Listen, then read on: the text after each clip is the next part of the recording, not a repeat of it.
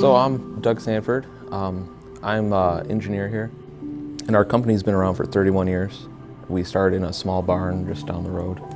We um, used to be 100% automotive, and when automotive kind of tanked out, right before that happened to get into stadium seating, and now we do almost exclusively seating products, so furniture for theater, stadiums.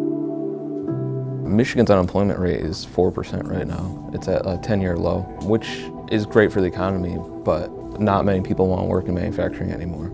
That's a big, a big issue. Everyone wants, you know, a desk job or something else. Came to me one day and said, uh, you know, we're having a hard time with labor right now. We really need some type of automation. I said, Doug, what changed? And he goes, we've, we can't get any more labor and we need something in here right now. We're not looking to replace people's jobs, get rid of people because we can have a robot do it. We're looking at this is someone that we don't have to find now. It can run for 45 minutes unattended before someone has to interact with it to replace parts. Um, so during that 45 minutes, that person is doing other things. It frees up that person to effectively do two jobs at once.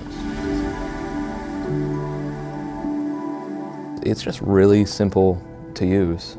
There's some intricacies to kind of fine tune things, but to just set a part down and tell it what you want it to look for is just super simple and it's very intuitive. Uh, we certainly did a system, but he had most of that done and we came in and just confirmed some things with him. But uh, yeah, he set all up and running.